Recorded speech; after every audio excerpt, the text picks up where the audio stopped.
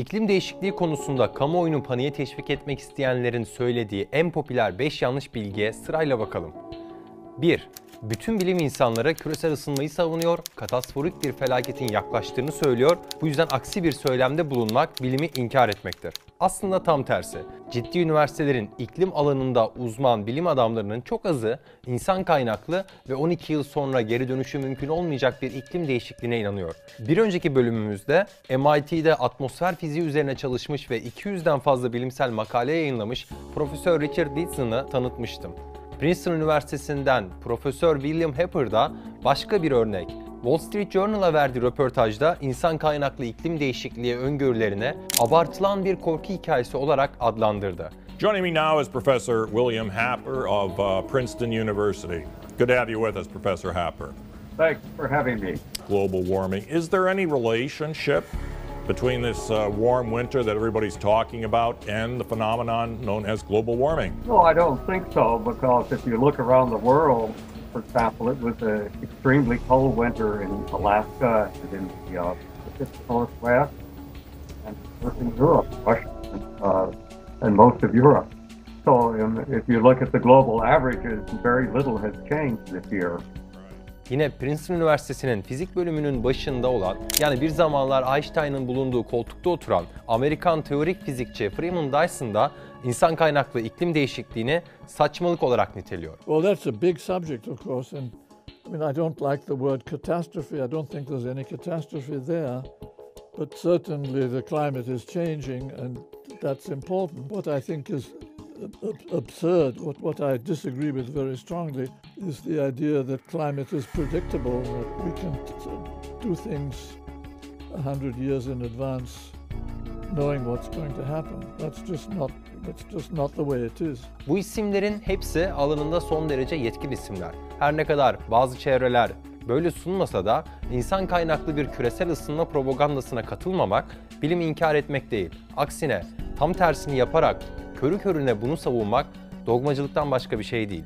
2. Karbondioksit kirletici bir gazdır. Normalde karbon monoksit, sülfür dioksit, metan gazı gibi zehirli gazlar kirletici gazlar sınıfına girerler. Ancak 2009 yılında bilim dünyası için şaşırtıcı bir gelişme oldu. Atmosferin doğal ve zehirsiz bileşeni olan karbondioksit, EPA kısaltmasıyla bilinen Birleşik Devletler Çevre Koruma Kurumu tarafından kirleticiler sınıfına alındı. The Wall Street Journal'a çıkan karbondioksit nasıl kirletici oldu başlıklı makale dahi bu gelişmeyi duyururken EPA'nın bulgusu elbette karbondioksiti tek başına bir kirletici olduğunu göstermez ancak iklim değişikliğine sebep olduğu için böyle bir karar alındı ifadesini kullandı. Yani özetle karbondioksit seviyesini fazla buldukları için böyle bir adlandırma yapmışlar. Bu manipülatif adlandırmayla atmosferin doğal bileşeni olan karbondioksit şeytanlaştırıldı ve zihinlere bu şekilde yerleştirildi. You know, our breath when we exhale is about 40,000 parts per million, carbon dioxide 4%. You probably remember from high school chemistry, you can blow through a straw into lime water and you get this cloud of white, you know, carbonate particles forming. So it's a perfectly natural thing. And in fact, we're in a bit of a carbon dioxide famine now. If you look over geological history, it's been much higher than now most of the time. Most plants do better with more carbon dioxide than they have now. So there, it's just a, a complete distortion of the truth to call it a pollutant. It's not a pollutant at all. Well, one of my missions is to turn on its head the idea that carbon dioxide is a pollutant and somehow dangerous, when in fact it is the most important nutrient for all life on Earth, and without it, this would be a dead planet. So I say not only is carbon dioxide good, it is essential, and it's a good thing that we are putting some more carbon dioxide in the atmosphere because it was running low before we came along. Tüm canlılık karbon temellidir ve canlılığın içeriğindeki tüm karbon ağaçlar ve okyanus planktonları tarafından tutulmadan önce atmosferde karbondioksit şeklinde bulunmaktaydı. Bununla birlikte yediğimiz sebzeden meyveye kadar her besin karbondioksit sayesinde oluşmakta. Kısaca karbondioksit canlılığın temel bileşenlerindendir. Karbondioksite kirletici diyenlerin dahi inkar etmediği şekilde zehirsiz ve temizdir. Böyle bir gazı kirletici diye adlandırmak bilime keyfi bir müdahaledir. 3. Karbondioksit miktarı çok fazla. Bugünkü karbondioksit seviyesini dünya tarihine yerleştirdiğimizde içinde bulunduğumuz periyodun bir düşük karbondioksit periyodu olduğunu görüyoruz. Bitkilerin gelişmek için ihtiyaç duyduğu karbondioksit miktarı şu an atmosferde bulunan karbondioksit miktarının 4-5 katı. Bu sebeple birçok çiftçi seradaki bitkileri yetiştirmek için karbondioksit satın alarak bitkilerine karbondioksit gübrelemesi yapıyor. Bu dar borucuklar karbondioksit püskürtüyor. Her yerde ufacık delikler var. Bu deliklerden karbondioksit sızıyor ve bu da bitkiler tarafından fotosentez için kullanılıyor. Almanya ve Hollanda ortaklığında kurulan OKAP firmasından Frank Hay, Amsterdam ve Rotterdam'daki yaklaşık 500 seraya birkaç yıldır karbondioksit satıyor. Kısa vadeli döneme baktığımızda ise son 200 yılda karbondioksit miktarının görece arttığını görmekteyiz. Ancak bu durum sanılanın aksine çevreye olumsuz yansımadı. NASA'nın resmi sitesinde yer alan ve Nature Climate Change dergisinden alınmış bir araştırmaya göre atmosferdeki karbondioksit seviyesinin yükselmesi dünyadaki vejetatif bölgelerin yarısına yakınında gözle görülür bir yeşillenme oluşturdu ve bitkilerin verimini arttırdı. Uydu fotoğrafları da NASA'nın paylaştığı bu araştırmayı doğruluyor. Yani çevreciler ve propagandaya kapılmış olanlar anlamakta güçlük çekecekler ama karbondioksit seviyesi panik olmamızı isteyenlerin söylediği kadar canlılığı tehdit edecek bir seviyede değil. Aksine canlılık daha fazla karbondioksite ihtiyaç duyuyor ve artan karbondioksit seviyesi sayesinde artık daha yeşil bir dünyamız var. 4.